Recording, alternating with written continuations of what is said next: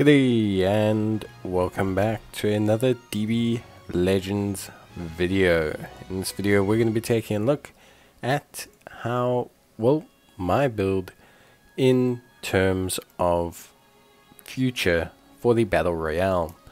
Now, as you guys know, or if you don't, Battle Royale is basically a game mode whereby you can only utilize characters of the required typing.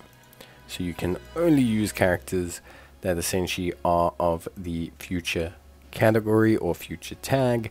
You cannot use characters that belong to other tags, not even for boosting, but you will obtain a Battle Royale medal should you win, and you will obtain, well, 500 ranking points for the Battle Royale season.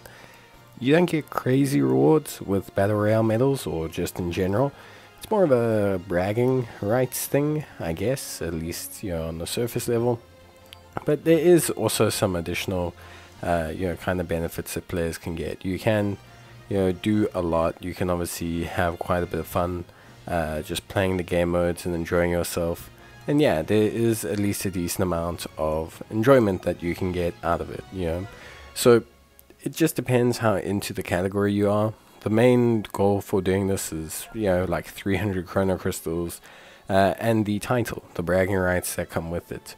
Now, the thing with Battle Royale is there are usually some kind of adjustments that are made to the characters that can be used. So, for example, in this case, uh, characters have 30% more health if they are a fusion warrior character.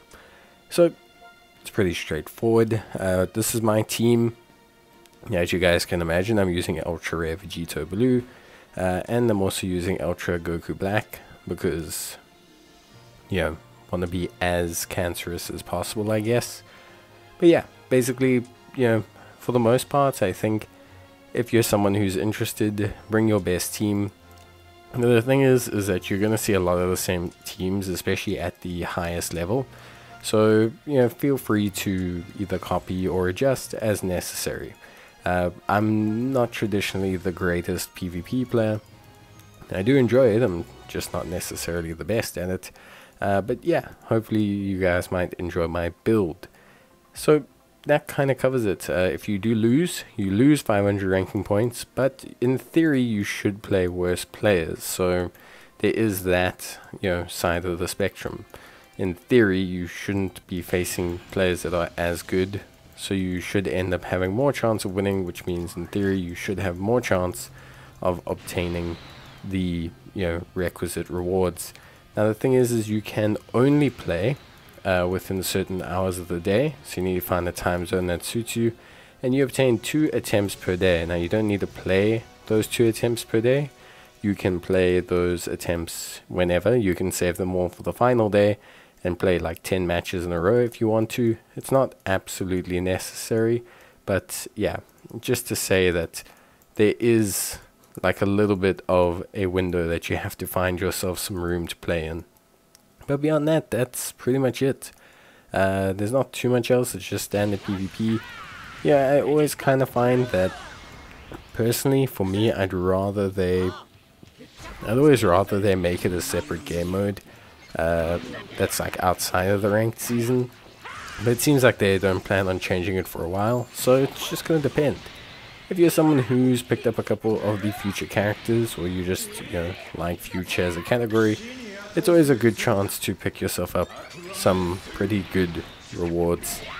And yeah, as you can see, uh, I'm using the red, uh, well, the red, you know, good old fused half corrupted Zamasu, and main reason being uh, it's just a cool cool unit, and he gets a 30% health buff, so thought it might be cool to try him out. Plus, I could double buff uh, him whilst also single Zenkai buffing uh, Ultra VB, so that's pretty cool. But yeah, beyond that, that basically covers everything uh, you need to know. Obviously, guys, just try your best. If you you know can't find yourself a good team to play, it's not really a big problem. Uh, and if you don't feel like playing the game mode, it's never really a big issue. And yeah, that's uh, basically going to cover everything from me. There are some missions. Uh, if you are someone that's interested in finishing missions or, or anything of that nature, there are some missions for the amount of matches that you play, and these missions will drop you some slot removers. Uh, you can find these missions under the special missions tab. And yeah, slot removers are a nice little bonus at least. Uh, slot removers are always something that's valuable, you know, especially if you are someone that's uh, you know always looking for slot removers. So yeah, uh, pretty good stuff. But beyond that, that's basically my build for Legends Battle Royale. Let me know what build you're going for down below, uh, or if you would tweak anything, or you know, basically if you how you're doing, or what rank, or if you you're keen on this one. And yeah, that basically covers it. But uh, probably see you guys in the next one. Uh, until then, of course, bye.